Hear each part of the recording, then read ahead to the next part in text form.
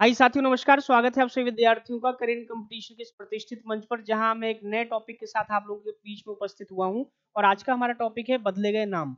वर्ष 2023 में जनवरी से दिसंबर तक जितने भी नाम चेंज हुए हैं, उनके ऊपर मैं चर्चा करूँगा आप लोगों से। तो स्वागत है आप सभी विद्यार्थियों का।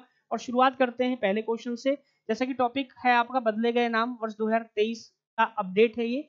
पहला है आपका औरंगाबाद। औरंगाबाद शहर आपका महाराष्ट्र में पड़ता है, इसका नाम बदल के कर दिया गया है संभाजी नगर। तो राइट आंसर क्या हो जाएगा आपका? संभाजी नगर। तो औरंगाबाद शहर का नाम बदल के क्या कर दिया गया है? संभाजी नगर कर दिया गया है। उसके बाद अगला है आपका Habibganj railway station. Habibganj railway station का संबंध है आपके मध्य प्रदेश के भोपाल से। इसका नाम बदल के क्या कर दिया है? Rani Kamlapati railway station. Rani Kamlapati railway station कर दिया गया है। ये अपडेट आप लोगों को ध्यान में रखना है। थर्ड है आपका दिल्ली पर्यावरण भवन। दिल्ली में आपका जो पर्यावरण भवन है, इसका नाम चेंज कर दिया गया है। इसका नाम कर दिया गया है पंडित दीनदयाल उपाध्याय अंत्योदय भवन के नाम से। अर्थात इनका नामकरण किया गया है राष्ट्रीय जनसंघ पार्टी के एक बड़े लीडर पंडित दीनदयाल उपाध्याय जी के नाम पर। अगले पॉइंट की ओर देखते हैं। अगला प्रश्न है आपका, कालका एक्सप्रेस। कालका एक्सप्रेस का जो नवीनतम नाम कर दिया गया है, नेताजी के नाम पर कर दिया गया है, अर्थात नेताजी सुभाष चंद्र बोस जी के नाम पर कर दिया है। तो कालका एक्सप्रेस को अब हम सभी लोग नेताजी एक्सप्रेस के नाम से जानेंगे। अगले पॉइंट की ओर चलते हैं। अगला है आपका राजस्थान का मियाँ का बाड़ा। राजस्थान में एक रेलवे स्टेशन है जिसका नाम है मियाँ का बाड़ा। तो मियाँ का बाड़ा जो रेलवे स्टेशन है, इसका नाम बदल के कर दिया गया है क्या? महेश नगर हाल्ट। किस नाम से किया गया है? महेश नगर हाल्ट के नाम से किया गया है। अगला है आपका Itwari railway station. Itwari railway station की अगर हम बात करें तो इतवारी रेलवे स्टेशन पड़ता है आपका नागपुर में और नागपुर है आपका महाराष्ट्र में। और नागपुर को ही ऑरेंज सिटी ऑफ़ इंडिया भी कहा जाता है। संतरा नगरी के रूप में विख्यात है नागपुर। तो ये वहीं पर है आपका इतवारी रेलवे स्टेशन। इसका नामकरण कर दिया गया है सुभाष चंद्र बोस जी के नाम पर। तो अब हम इसको किस नाम से जानेंगे? सुभाष चंद्र बोस इतवारी रेलवे स्टेशन के नाम से जानेंगे। नेक्स्ट है आपका केरल। अब केरल केरल की अगर हम बात करें तो केरल का भी नाम परिवर्तित कर दिया गया है। अब केरल को किस नाम से जानेंगे? केरलम के नाम से जानेंगे। केरल की जब भी हम बात करते हैं तो पद्मनाभ स्वामी टेंपल याद रखिएगा। उसके साथ साथ सबरीमाला टेंपल याद रखिएगा। केरल की कैपिटल याद रखिएगा। तिरुवनंतपुरम, या हम जिसे त्रिवेंद्रम कहते हैं। विक्रम साराभाई स्पेस सेंटर है यहीं पर है आपका। तो केरल का नाम हो गया है आपका केरलम। उसके बाद नया रायपुर। नया रायपुर की अगर हम बात करेंगे तो नया रायपुर का संबंध हमारे छत्तीसगढ़ राज्य से है। तो नया रायपुर का नाम कर दिया गया है। क्या माय डियर स्टूडेंट आपका अटल नगर, अटल बिहारी वाजपेयी जी के नाम पर इनका नाम रखा गया है। अगला क्वेश्चन है आपका, दौलताबाद किले का नाम बदलकर क्या किया गया? दौलताबाद किले का भी नाम चेंज हो गया है। अब इसको हम सभी लोग देवगिरी का किला कहेंगे। तो देवगिरी नाम आप लोगों को ध्यान रखना द से दौलताबाद और द से देवगिरी का किला। अगले प्रश्न की ओर चलते हैं। अगला है आपका तेलिया, अफगान, उत्तर प्रदेश का एक गाँव है। और कहाँ पड़ता है ये? तेलिया, अफगान, ये आपके उत्तर प्रदेश के देवरिया में पड़ता है। इसका नाम चेंज करके कर दिया गया है। तेलिया शुक्ला। तो राइट आंसर हो जाएगा आपका तेलिया शुक्ला।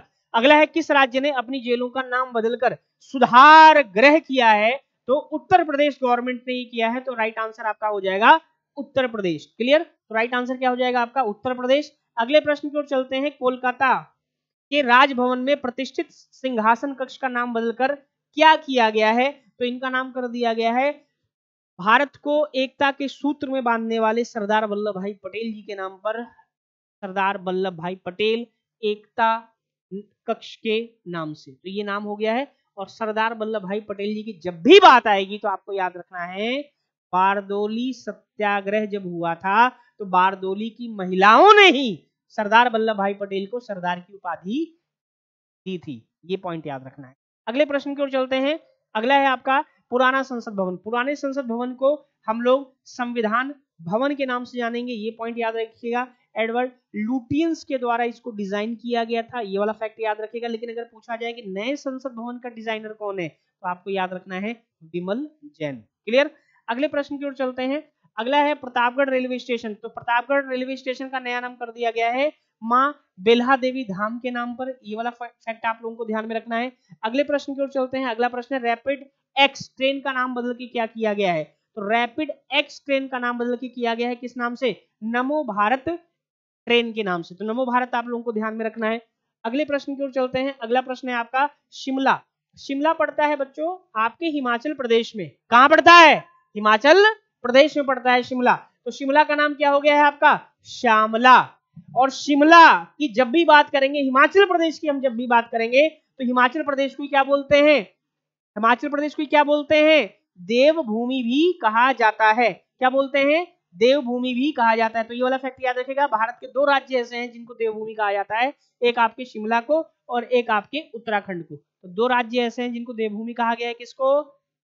हिमाचल को और दूसरा उत्तराखंड को। वेरी गुड तो हिमाचल की जो राजधानी है शिमला, एक राजधानी शिमला है, एक राजधानी क्या है? धर्मशाला। तो शिमला का नाम चेंज हुआ है, क्या हो गया है अब? श्यामला। अगला है होशंगाबाद। होशंगाबाद जिला पड़ता है आपके मध्य प्रदेश में।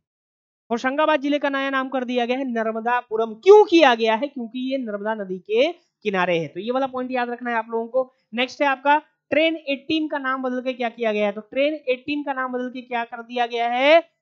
वंदे भारत एक्सप्रेस कर दिया है माय डियर स्टूडेंट ये वाला फैक्ट याद रखिएगा। नेक्स्ट है आपका महाराष्ट्र के उस्मानाबाद शहर का नाम बदल के क्या किया गया है? तो धारा शिव कर दिया गया है उस्मानाबाद शहर का नाम बदल के और ये कहाँ पर है आपके? महाराष्ट्र में है। अगला पॉइंट है आपका साबरमती घाट का नाम बदलकर क्या किया गया है? तो साबरमती घाट का नाम बदल के कर दिया गया है अटल घाट। तो ये थे माय डियर स्टूडेंट आज का कुछ इंपॉर्टेंट नेशनल करेंट अफेयर्स और स्टैटिक जीके से जुड़े हुए महत्वपूर्ण प्रश्न। अपडेट के साथ, जिसमें मैंने आज चर्चा करी आप लोगों से, वर्ष 2023 में जनवरी से लेकर दिसंबर माह तक जितने भी बदले गए नाम हैं, उनके ऊपर मैंने चर्चा करी। इसके ऊपर एक वीडियो मैं लेकर और आऊँगा आप लोगों के बीच में, ये आपका फ़र्स्ट पार्ट रहेगा। और भी जो जो नाम बदले गए हैं, उसके ऊपर भी हम लोग चर्चा करेंगे।